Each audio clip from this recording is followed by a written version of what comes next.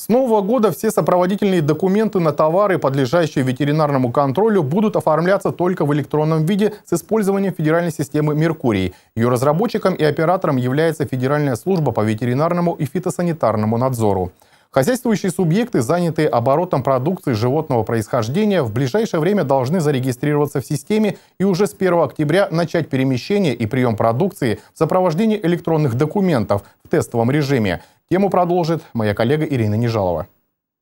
На примере одной из компаний специалист государственной ветеринарной службы Елена Макеева показывает нам, как работает система «Меркурий».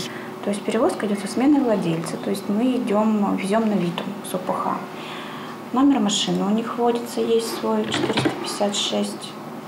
Молоко идет охлажденное. Далее добавляется получатель.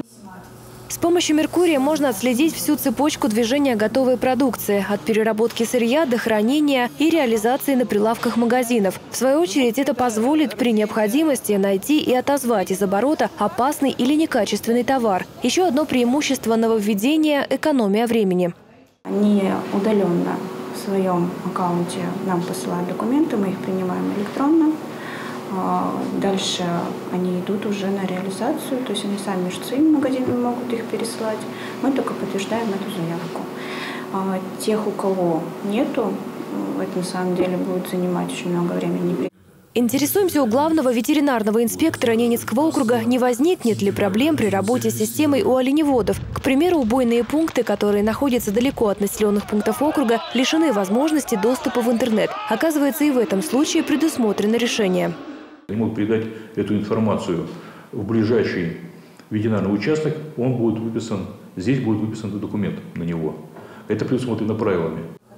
Обязательная электронная ветеринарная сертификация на товары, подлежащие ветеринарному контролю, вводится с 1 января следующего года. К товарам относятся в том числе готовая молочная продукция, готовые или консервированные продукты из мяса, мясных субпродуктов или рыбы, а также макаронные изделия с мясной или рыбной начинкой и другие товары, содержащие продукцию животного происхождения. В нашем регионе оборотом этих товаров занимаются 160 юрлиц и 45 индивидуальных предпринимателей. На сегодняшний день к системе электронного взаимодействия взаимодействия подключены только 133 из них.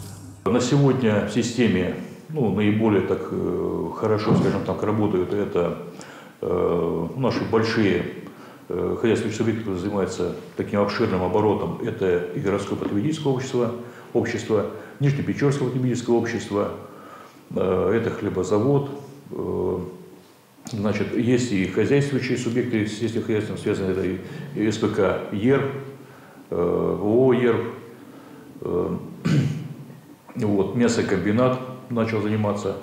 Для перехода предприятия к обязательной электронной сертификации в округе разработан план-график, в соответствии с которым до 15 сентября хозяйствующие субъекты должны зарегистрироваться в системе «Меркурий» и уже с октября начать перемещение и прием продукции в сопровождении электронных ветеринарных документов в тестовом режиме. Переход на новую систему, безусловно, потребует подготовки специалистов. Консультационную помощь здесь готова оказать Государственная инспекция по ветеринарии. Хотим провести обучающие консультации, ну, по большому счету обучение. Э, примерные сроки, примерные сроки э, будут это 25, 25 сентября, потом 10 октября и 16 октября. То есть мы предусматриваем примерно три потока, три потока. Э, там обучение будет при пределах двух дней. Точные даты проведения обучающих консультаций будут зависеть от наполняемости групп. Также возможно проведение индивидуальных занятий. Подробную информацию можно уточнить по телефону 2 12 73. Ирина Нежалова, Дмитрий Лукевич, телеканал «Север».